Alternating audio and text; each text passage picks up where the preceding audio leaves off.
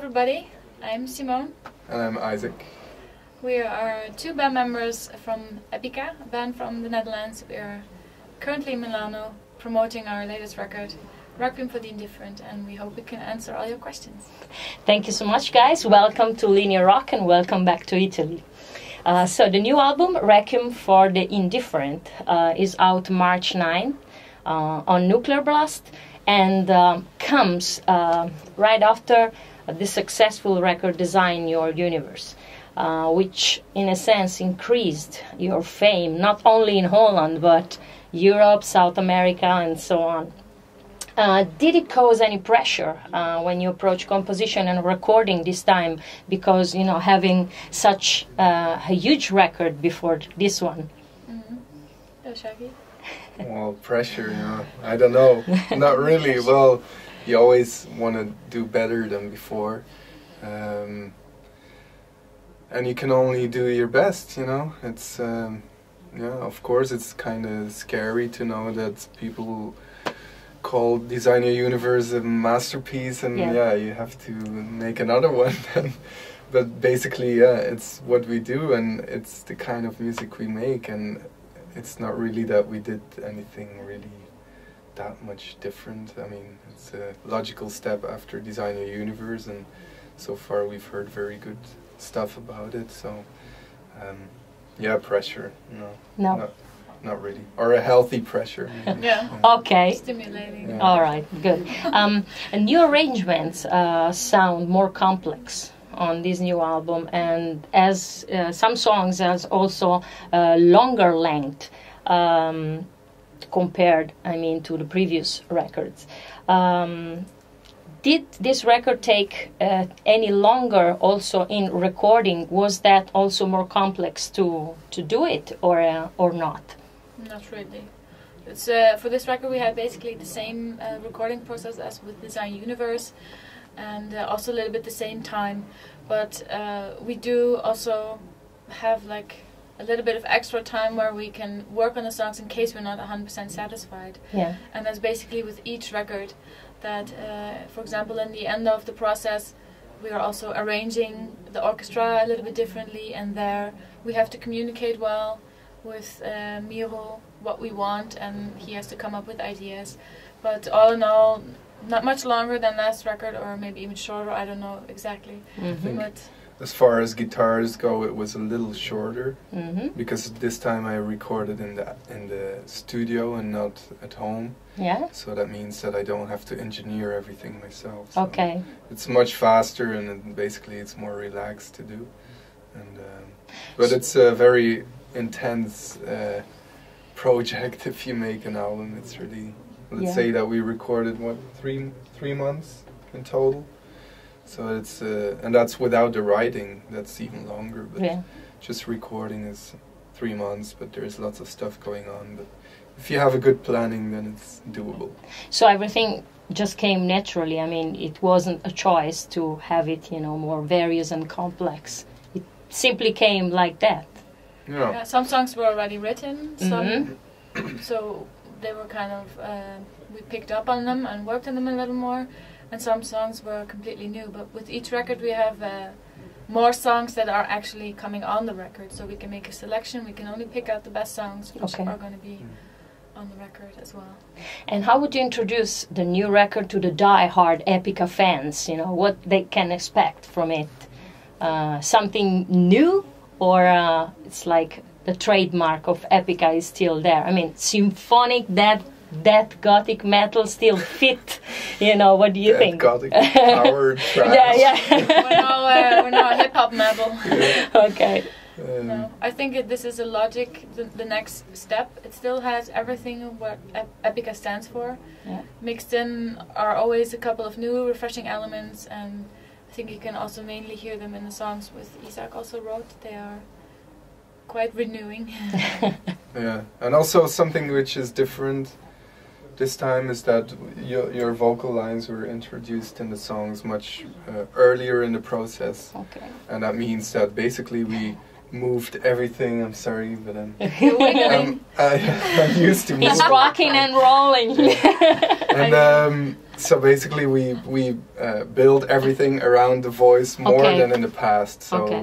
It's something you maybe don't really hear uh, if you haven't heard the whole, or if you weren't part of the whole process. But I think in the end, it really helped to make the vocals stand out, give them more air, more space, Okay. and thus make them more catchy for the ear. So.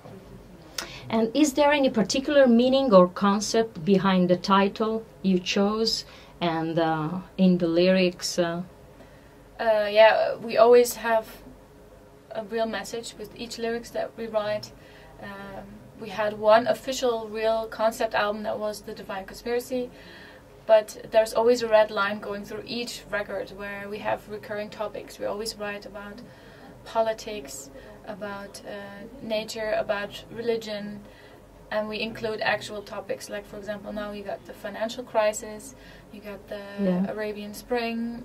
We always have na- uh, natural disasters, and then there are uh, people um, going crazy and shooting at people. Like, for example, this time is Anders Breivik, but there are always people which try to, to ruin things for other people. So it's very, it's like topics we always are interested in mixed with actual topics and also some personal songs as well. okay. And cover artwork looks uh, like a bit cyberpunk in a sense. Um, seems uh, to represent, you know, um, human being looking for the key, you know, for the salvation of the nature and uh, Mother Earth. Um, that's the interpretation that we gave. Uh, I hope it's it fit. and uh, uh, how did you come to that, and uh, how it is connected to the music and the lyrics?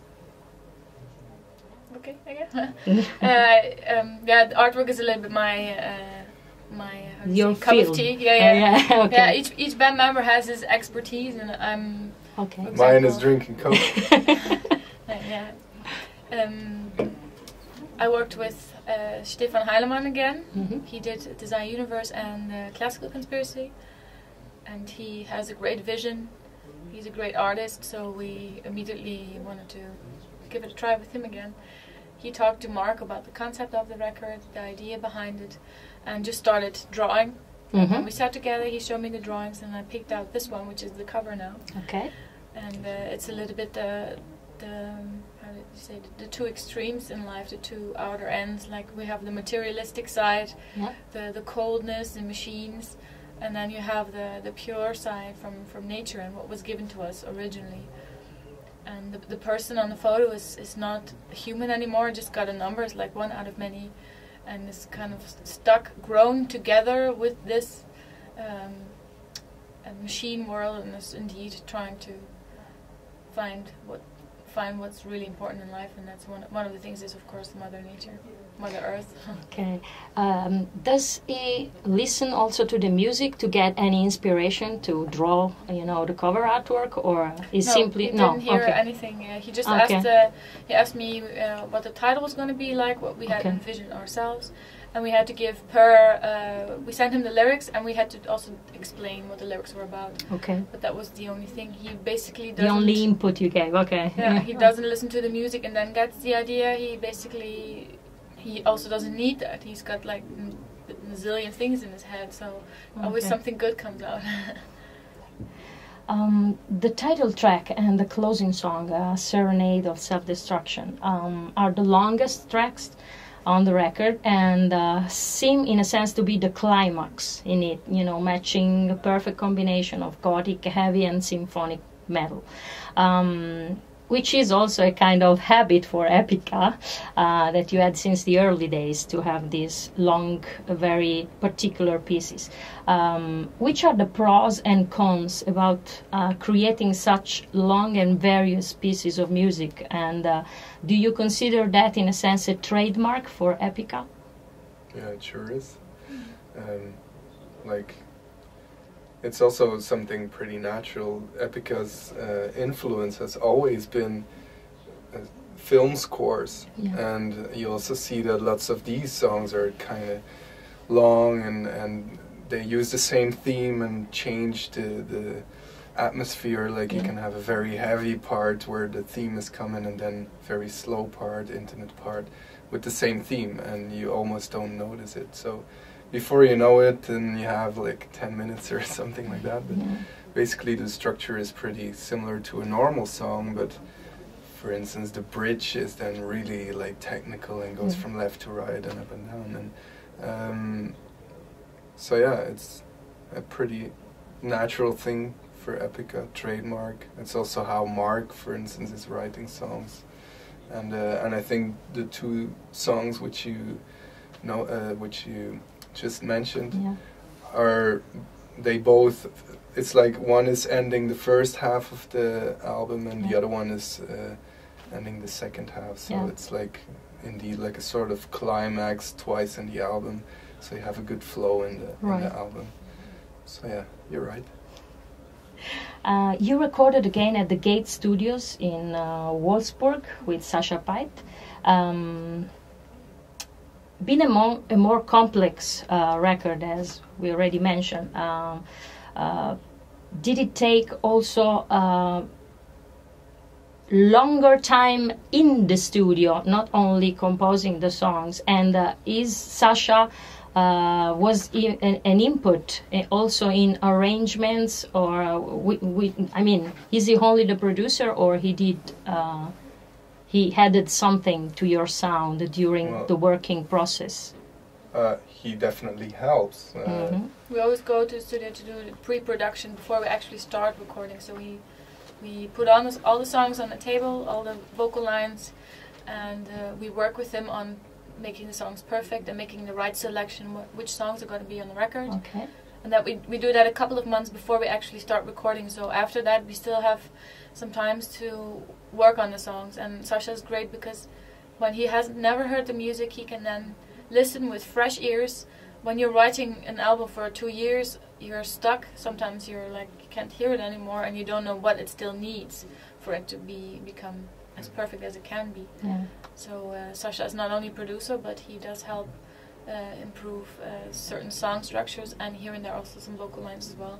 or if you for instance uh, let's say that within the band you're not always agreeing on everything the other says so Okay. then he's a very let's say uh, objective uh, Judge. yeah judge, He's the judge. judge Sascha so he, the uh, referee.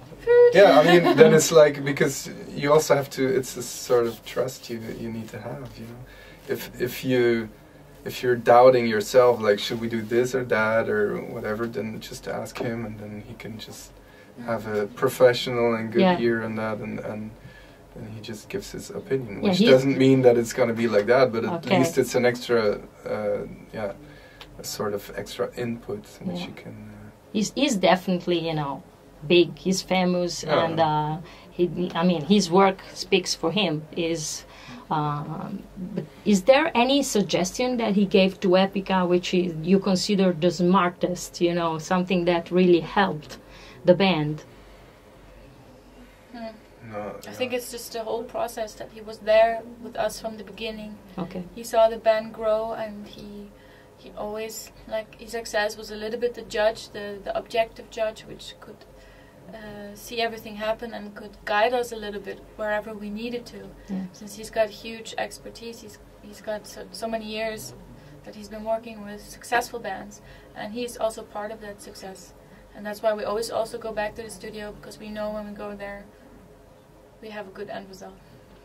Yeah, and the good thing about him is also the you know the combination because everything he works on, uh, he gives space you know to the talent and creativity. You know everything is great, but has his own trademark. So it's like he's he's giving you know he's a he's giving his imprinting, but he he leaves also you know artists to have their own personality. So Yeah, that's exactly. that's Yeah. great. But And sometimes he also, if he doesn't like something, we really like it, then he just lets us be. Yeah. He can have a total different opinion, but it is up to us in the end if Okay. we take his his advice, because we sometimes argue about stuff which is a matter of taste, Mhm. and there we win in the end because it's our band, of course.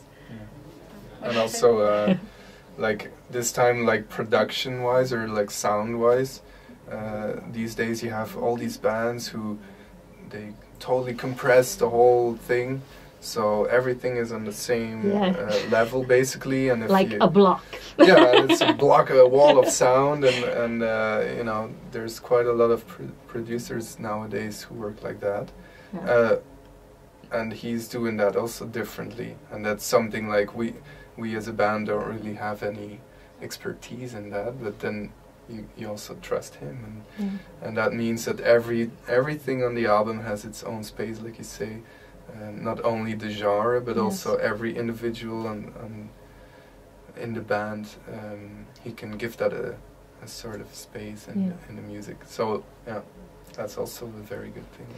A question for Simon. Um, your singing style through the years um, reached a higher pitch, you know, every time more.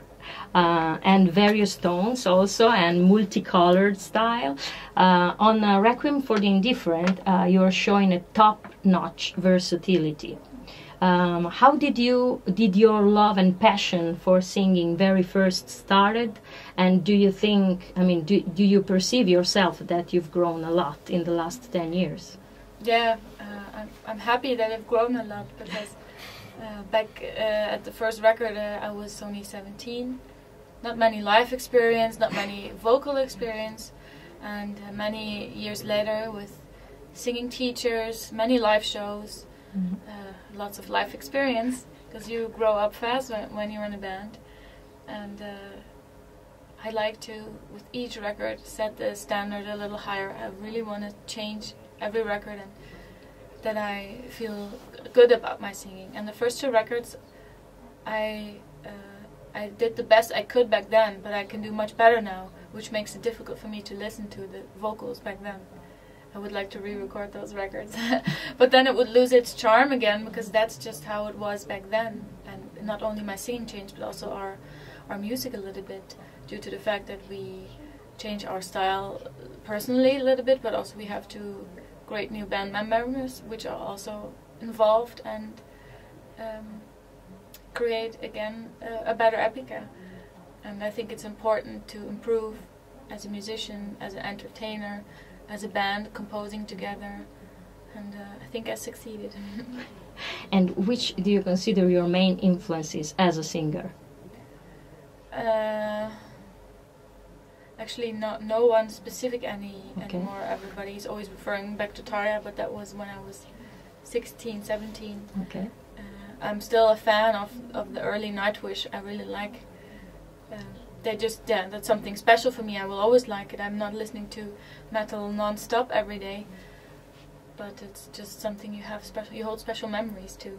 And nowadays, I uh, I also listen to pop singers as well. Oh. So you can also hear that a little bit in the record. I still my heart lies with more the classical music, and I also I'm going to search for another teacher because I moved to the south of Germany. I don't live close to my teachers anymore, and uh, I'd like to invest more time in that. But also sing and sing every style I can, I possibly can. I'm, And when you mention pop singers, that includes also Lady Gaga. Yeah, as as crazy as it sounds, I think she is a great singer. But she's a, she's a little crazy, but so am I. But I don't wear I don't wear a dress made out of meat to show it. That's a good point. and do you think that the collaborations as a special guest with Fla- Primal Fear or uh, Kamelot, for example, uh, refined your style in a sense or helped in a sense your, yourself? Yeah, with with each other band I work with outside of Epica, you see how different it can be, and they also they want to hear the typical Simone sound, but they also just push you a little bit. Like, uh, the song is the songs are different, so I'm I'm a little bit out of your comfort zone, and then you just try, and by accident with with uh, poetry for the poison, I I belted out a huge high note, which was a mistake, and I didn't know I actually could do that. So I, we were all a little bit like, wow, what just came out of came out of that little body? So uh, I uh, I wanted to work on that a little bit more, and I like to surprise people with each record. Good. Um, do you consider uh, within Temptation like more partners in crime, since you're both Dutch bands, uh, or a main influence since they came before Epica? Uh, they're definitely not an influence Okay. on, on our style. Mm-hmm. I, I really like Nightwish. I like the beginning years of Nightwish, and I like how they are now, but they are not a metal band. Okay. They, I don't consider them All right. a She was talking about. Within Temptation. Huh? The question was about Within Temptation. Yeah. Yeah. N- Yes. and now you say Nightwish. Did I, oh, I'm sorry. okay, just to Thank just you. to be sure. I've done 10,000 uh, billion interviews lately, so I, I kind of forgot my own name. Okay, cut. We're talking about Within Temptation. okay. But you still, you also, everybody has like the old and the new Nightwish because of the singer, so Yes, I got sure. that question many times. Excuse me, everybody. But, uh, But is there any competition No. between you and Sharon? Not at all. No. Do you know each other or? uh, Yeah. Yeah. but she's not a friend like, for example, Christina or Okay. Elise or Floor or. I also think it's like really the more than with Nightwish that, that they are doing something really different nowadays. Mm -hmm. And uh, But I like it, nevertheless. yeah, but I like the record. the new one, hmm I don't know. Okay, let's go on. so for me, it's not. A question for you, Isaac. Uh, you're a member of Epica since 2009, and uh, since the very beginning, you contributed to the songwriting very actively. Uh, what particular ingredient uh, do you think you added to the sound of Epica? Sexiness. No. no, uh, besides sexiness, I, um, no, I I think mainly that that I um, made the guitars um, more part of the melodic part, melodic side of Epica. So that means that I just made them more basically technical because then you also create melody in the guitars whereas in the past it was more to back up the orchestra. So the guitars were more rhythmic. And um, so yeah that would be the main change i think also with the solos obviously. That's the most obvious obvious thing you can hear but earlier today i had a, a guy saying yeah um, some people say that you um, how did he say that? Um, that since you since I joined the band that the the um, that it's less orchestration and and more guitars and or Okay. yeah more brutal Yeah. and then I said no because because if you make the guitars a little more uh, melodic then you need less of the orchestra to to make it more Yeah, yeah. melodic so it's uh, in my eyes a better balance Uh, you'll be playing Milano at the Alcatraz on uh, April 17th, uh, 2012. Uh, why anybody listening now, viewing this interview, should not miss the show? And uh, will you have any opening act? yes Yes.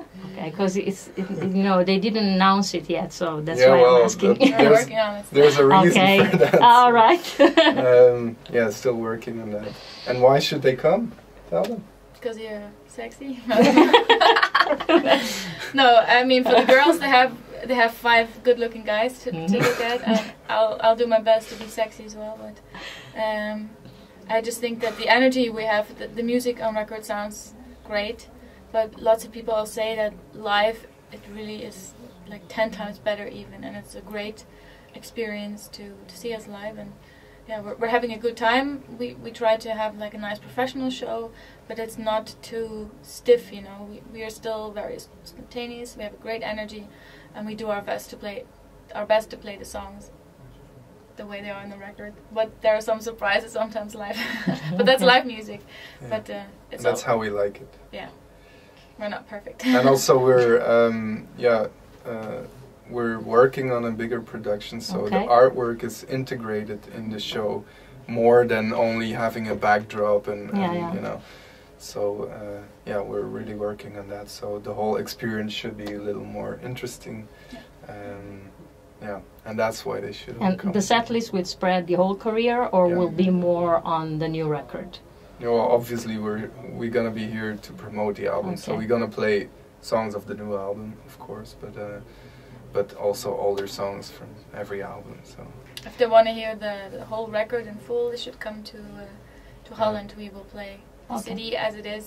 Then uh, we cannot play all the songs live because we got a couple of classics which fans also want to hear. So after the we've done the CD presentation, which will be the 16th of March and Yeah. 013 October, we can then feel which songs are great to play live and which are more like record songs. So, So that would be a kind of test. Yes. Yeah. Yeah. Okay. And the opening band is not decided yet, so you're you're not uh, you cannot tell. Okay. Yeah. All right. top okay. secret. Next question. Okay. any chance or any idea to bring on tour the Mayan project sometimes? Did you ever think about it?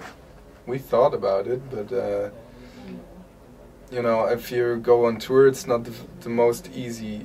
Uh, some people think, oh, party time, or you know, you're uh, you're in a band and it's always fun, but it's pretty hard work. Also, now we have the VIP system, which is uh, sold out in in Italy Yeah. already. Um, so it's pretty stressy. The bigger you get, the more things you have to do. Um, so we thought about having Mayan on the tour, but then it would be too much if you have to perform twice.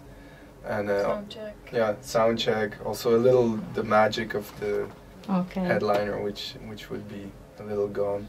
And also, I think the fans of the band are kind of uh, there's a similar fan base, so it would make more sense in my eyes to go with a total different band on tour with Maya.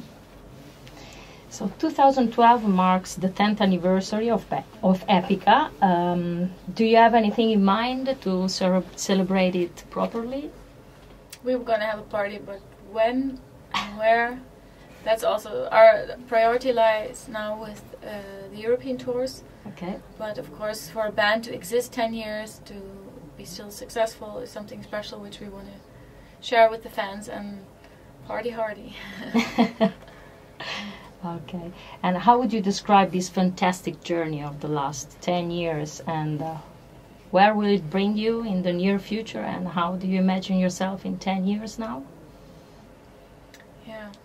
Yeah, know. 10 years I'll be 37, so then uh, I'll probably already have children, but I'll still be in the music scene because it's just a, it's not a job which you can switch. It's a lifestyle and it's a part of you. So if it won't be in the metal scene, I'll still be doing something within the music scene or creative. But let's hope that in 10 years we can celebrate uh, the 20th year anniversary of Epica. That would be, yeah, Yeah. still 10 years to come. I, I don't want to think too far ahead now. I'm living now. I want to enjoy The this moment. sexiness will be gone then. No, but- we're- we'll all be old and wrinkled. but that's okay. Yeah. Sean Connery is still sexy. So. yes. No. Uh, yeah. Yes, Hey, yes. guys. and George Clooney, yeah. yes, sure. right. Wait, he's not that old yet. Sean Connery is almost Yeah. 80 and Sha- uh, right. Clooney is middle 40 or end 40. How old are you now? Me? Still 21. yes, sure. Plus nine. okay, not thinking too far. I know you have more interviews to do today in Italy, and you have any. I know you have plans for shopping, so you love also. Okay, you, Simone. Okay, he has to come okay. with So you like, I mean, to shop in in Italy is something that. Uh, I've never actually really done it. Uh, All right. uh, there are always the cities I like to go shopping. Like America is also like Valhalla. It's it's affordable because of the dollar. But uh, I mean, Italy is a country of fashion, and I've become more interested in fashion as well. So we're gonna stop by uh, a shop later on. All right. Only for a little bit. It's Okay. Gotta work as well. well, I understand her. I'm with her completely. Yeah. okay. And uh, do you want to leave any message to the Italian fans? Thanks for watching and listening, and uh, we hope to see all of you on the show. And I hope that every one of you likes the album. Yes. Yeah, and Yeah. that's about it, I yeah. guess. Yeah, we worked two years very hard for this record, and we hope that everybody can find something that they like on this record and will experience the songs live and come hang out with us. So go buy it because it's worth. Okay. Thank you. Thank you very much. Thank you for your time. Thank you. You're welcome. Thanks. Thank you so much.